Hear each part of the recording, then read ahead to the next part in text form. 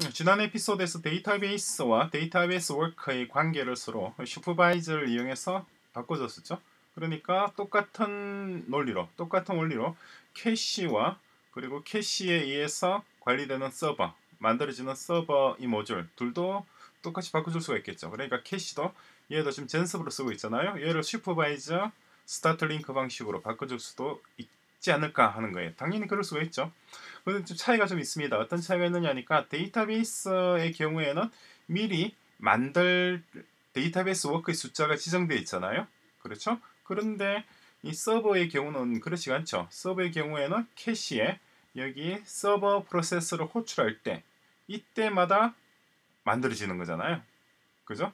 그러니까 todo list name으로서 앨리스나 밥이나 주피터를 넣을 때 그때 앨리스의 서버, 어, 밥의 서버, 주피터의 서버가 이렇게 만들어지도록 그렇게 구성되어 있죠. 그런데 그러니까 구성되는 저희 만들어지는 슈퍼바이저가 관리해야 될 child들의 이 숫자와 그 생성되는 시점이 서로 다르단 말이죠.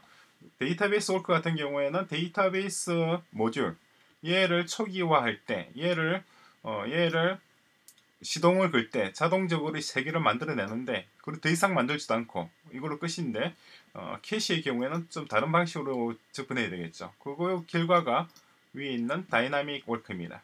어떻게 됐는지 볼까요?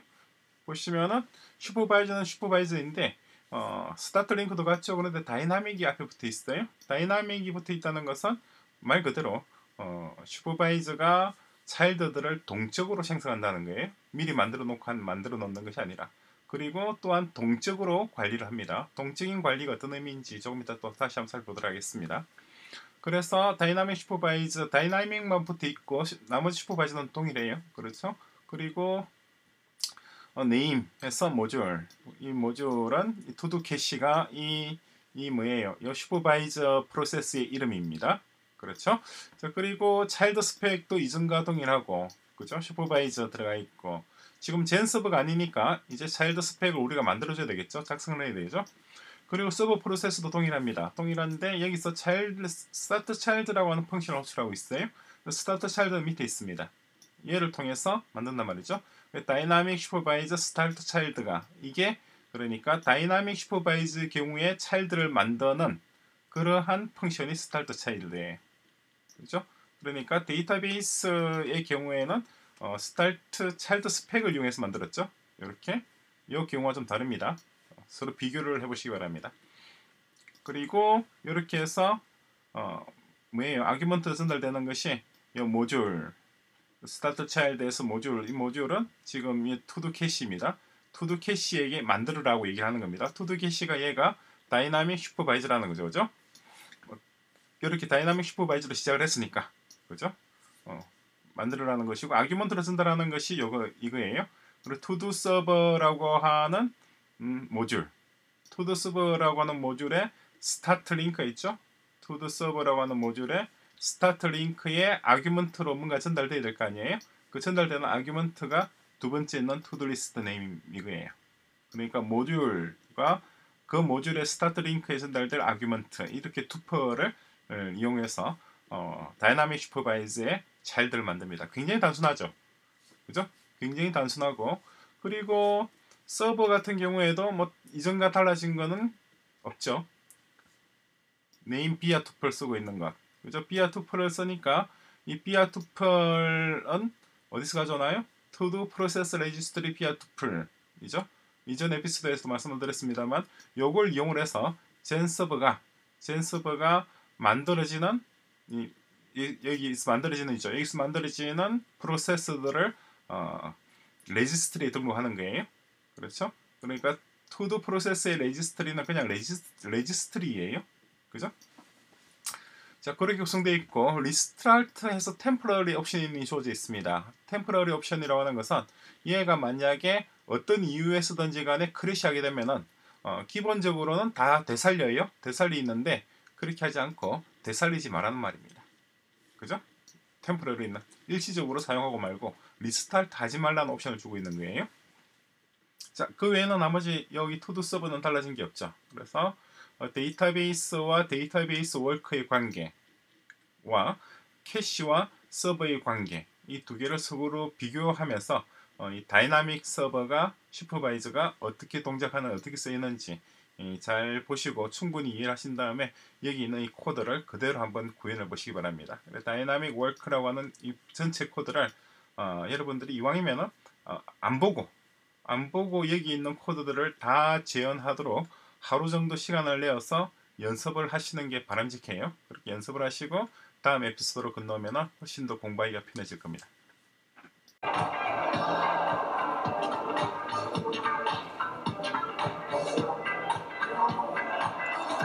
디나믹 워크죠. 이 프로그램이 실제 어떻게 동작하는지 그 흐름을 workflow를 한번 살펴볼 필요가 있을 것 같아요. 그래서 제가 어, 이 시스템이라든가 어, 캐시라든가 이런 곳에다가 파일에다가 이런 것들을 넣어뒀어요. 이런 IO puts라든가 혹은 혹은 IO 풋도 있고 IO inspect도 있고 그리고 뭐 또 이렇게 IO inspect에서 이렇게 넣어뒀습니다. 넣어뒀으면은 여기에 실제 우리가 이걸 구동을 시켰을 때 어, 떻게 데이터들이 일이 진행되는지 일이 그 프로세스가 초기화되는 과정들을 좀더 어, 정확히 볼 수 있을 것 같아요.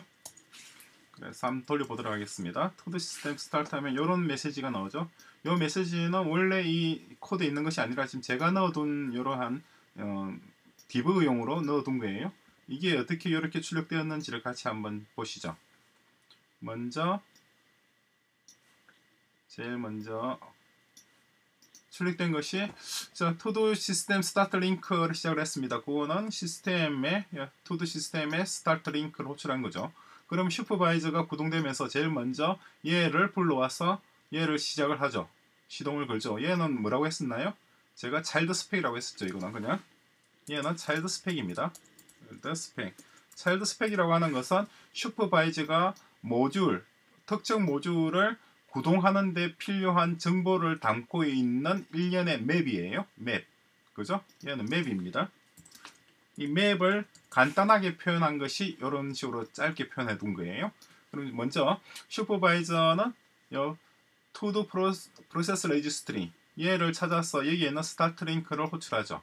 그러면은 요 todo process registry started 하는 말이 출력이 되겠죠. 그게 출력된 것이 요 내용입니다. 첫 번째 제일 먼저 나온 거죠. 그죠? 자, 그런 다음에 그걸로 끝이에요. 프로세스는 더 이상 하는 게 없습니다. 그런 다음에 두 번째 시스템이 불러오는 것이 데이터베이스입니다. 데이터베이스 들어오시면은 첫 번째 start link라면은 여기 뭐 여기는 별다른 내용이 없죠.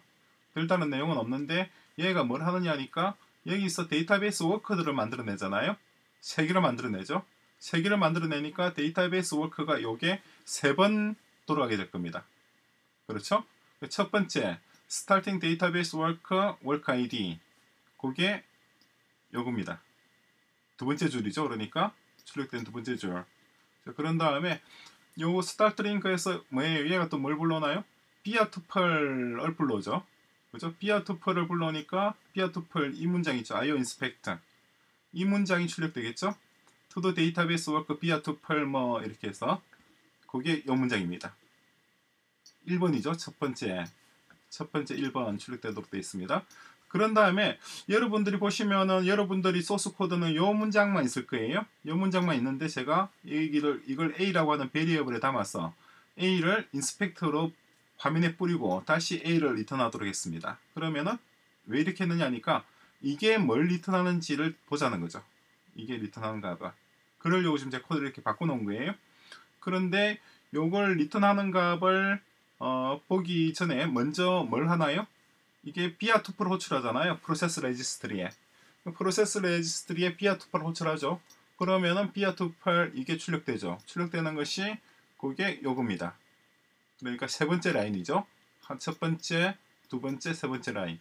그리고 실제 키가 무엇인지, via tuple에 전달된 키가 무엇인지를 보자고 한 거예요. 그 전달된 키가 이거예요. 그죠? via tuple로 전달된 키. 어디 있나요?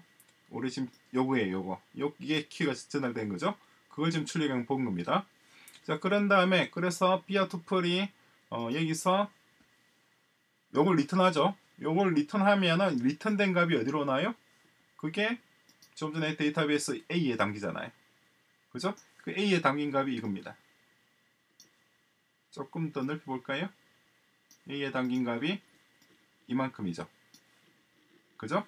그래서 어 데이 뭐 하나가 만들어질 때 워크 하나가 만들어질 때 요만큼이 만들어져요. 그죠? 그럼 마찬가지 두 번째 워크가 또 구동하면서 똑같은 게 구성이 되고 세 번째 worker가 되면서 똑같이 또 구동이 돼 나오고 그죠? 마지막으로 시스템이 불러오는 게 뭐예요? to-do cache죠. 그래서 to-do cache에서 starting to-do cache가 여기서 출력되는 겁니다. 그리고 return 되는 값 이거는 뭔가요? 이거는 시스템의 supervisor 프로세스의 PID죠. 그죠? 자, 이런 식으로 해서 제가 이렇게 보여드리는 이유가 이런 식으로 이 프로그램 그러니까 이 흐름 이 흐름을 파악을 할 수가 있잖아요. 이 흐름은 지금 우리가 초기화할 때 시스템을 구동할 때의 프로세스를 본 겁니다. 그럼 실제로 앨리스라고 하는 user를 추가를 하고 그리고 앨리스라고 하는 user로서 to-do list 중에서 뭐 내일 영업으로 간다라는 것을 추가를 했을 때 그 흐름이 어떻게 됐는지도 똑같은 방식으로 우리가 파악을 해볼 수 있겠죠. 물론 그렇게 하기 위해서는 이 데이터 서버에도 군데군데 군데군데 뭔가 이런 것들을 넣어야 될 거 아니에요. 그죠? 지금 현재 서버에 이닛에 이런 거 starting to-do server for 이런 걸 제가 아이오프 넣어놓은 거예요. 제가 넣어놓았습니다. 넣어놨는데 이건 아직 출력이 안 됐잖아요. 그죠? 그러니까 여러분들이 군데군데 이런 식으로 IO puts는 문자열만 할 때는 IO puts를 하고 그렇지 않고 뭐 tuple이나 뭐 map이나 이런 것을 출력할 때는 IO inspect를 써서 어, 흐름을 한번 확인해 보시기 바랍니다. 사용자는 앨리스로 하고 to-do list는 내일 영업으로 가는 걸로 그렇게 해서 한번 흐름을 파악을 해 보시는 것이 과제예요.